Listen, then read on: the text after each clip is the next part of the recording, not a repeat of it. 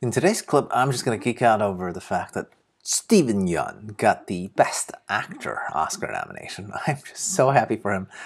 Uh, that's really about it, okay? The whole clip is just going to be me being a fanboy. So watch or whatever. Mm. Hey. Hey, XenPuck here. Uh, now, for those of you who know me, you know I'm not usually about celebrity culture at all, okay?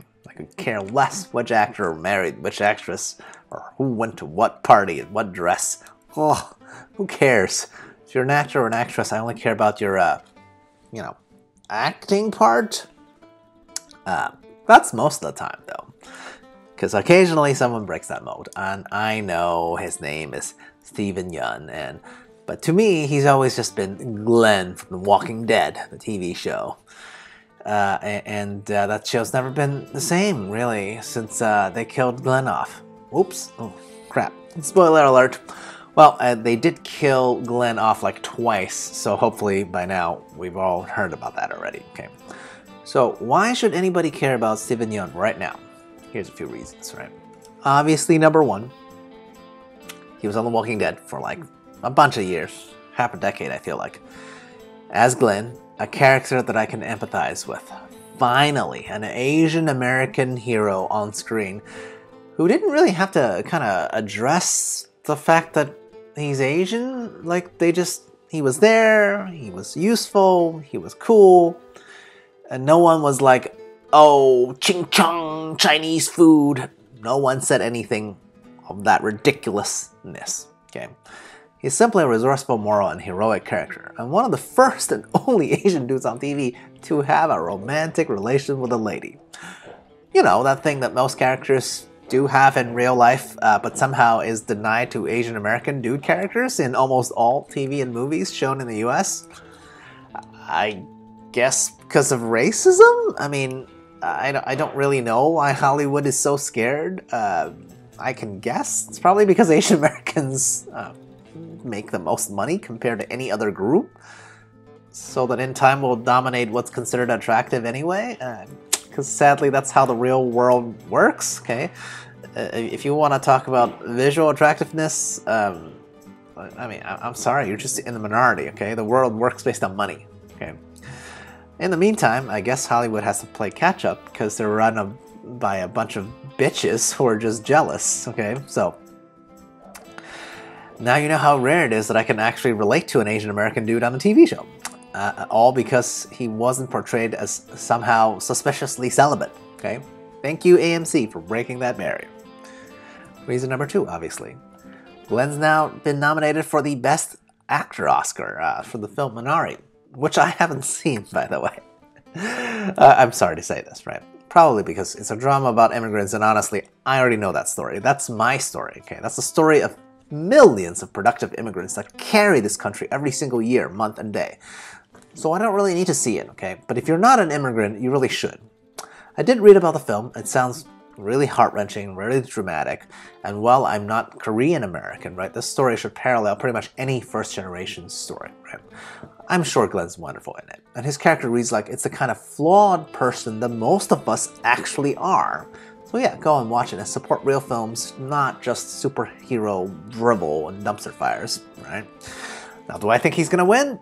Probably not, right? He's already a first, uh, being the first Asian American actor to be nominated, and I feel like the first to be nominated almost certainly means that he won't be the first to win, right? But hey, it's the highest individual prize for someone in his profession to attain, and I think this is at least, uh, you know, a step in the right direction.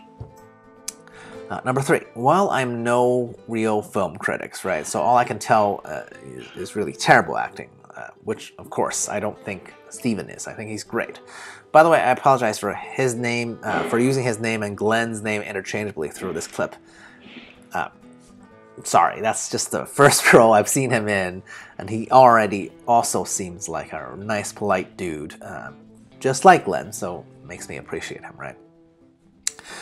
Also, you should check out his appearances on Conan, right? You can Google that on YouTube or whatever. Steven Yeun Conan.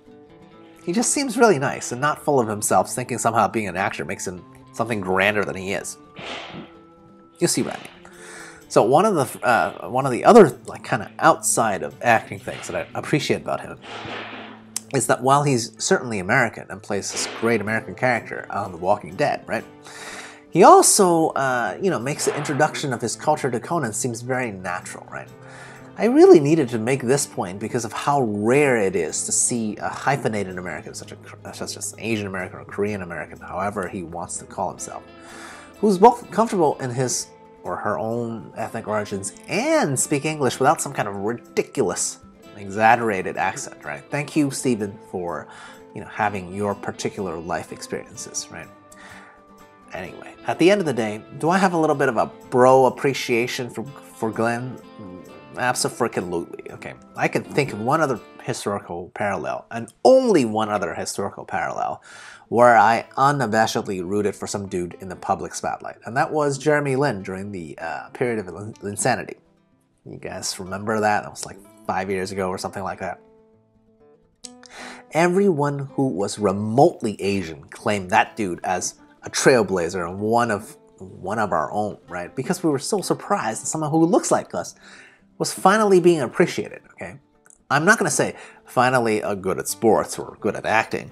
We've been good at both of those stupid things, okay? Those are those are careers that we could dominate if we wanted to.